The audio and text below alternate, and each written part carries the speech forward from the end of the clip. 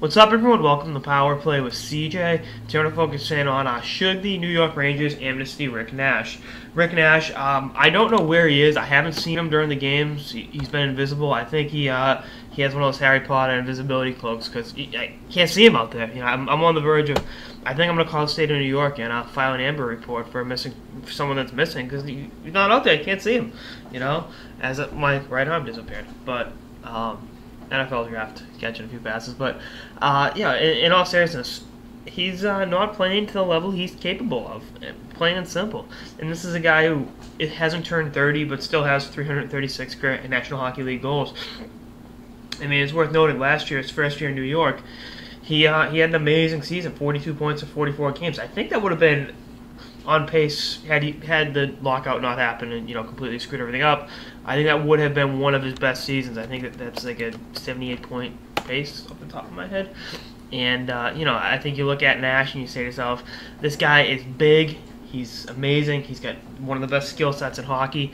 A really unique skill set given his size, and he's not delivering. He has two career postseason goals in 28 games. And again, I am one of the biggest Rick Nash fans there is. I mean, I, I was happy to see him. I'm not gonna say I was happy to see him leave Columbus because he was the, you know, franchise player in that um, for that you know team, and uh, it's just been um, you know he he deserved the, the opportunity to leave, and you know he's left, and he's been his regular season this year wasn't great with the Rangers. He was hurt. He missed 17 games. I don't think he was healthy for a lot of the games he played in. Um, you know, he had um, 39 points in 65 games this season. But you look at what he can do, and I mean, this is a guy that's led the league. He led the league in goal scoring during the dead puck era. I mean, back when 41 goals could lead the league in goal scoring. That's uh, the way that season went. St. Louis, I think, led the league in scoring. But he's got a cap hit almost $8 million. He's under contract through, I think, 2018. So my whole thing was I was always plugging they should amnesty Brad Richards because he's got more years on his deal. He's older, and uh, but you know, working Nash isn't doing himself any favors. I think if they they have until this summer to use their one amnesty clause left. They obviously used it on uh, Wade Redden. Um, you know, about a year and a half ago. But I think you look at Nash and say to yourself, give him another year. And I think he's still tradable.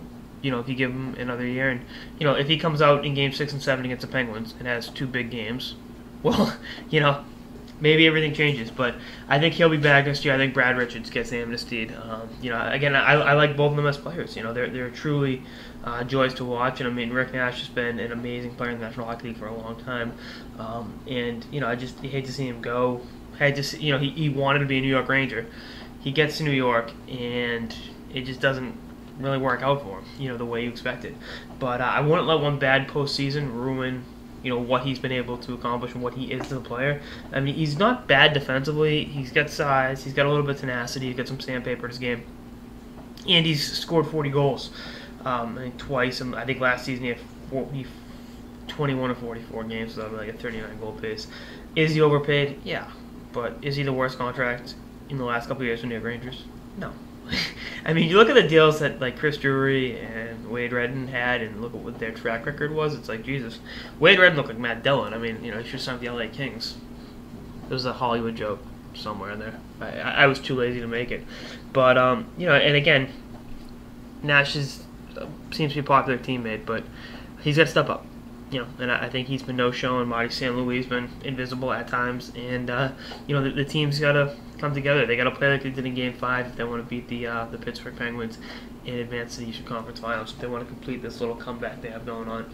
But um, anyway, that's why I got this episode of the Power Play with CJ on should the uh, New York Rangers amnesty Rick Nash.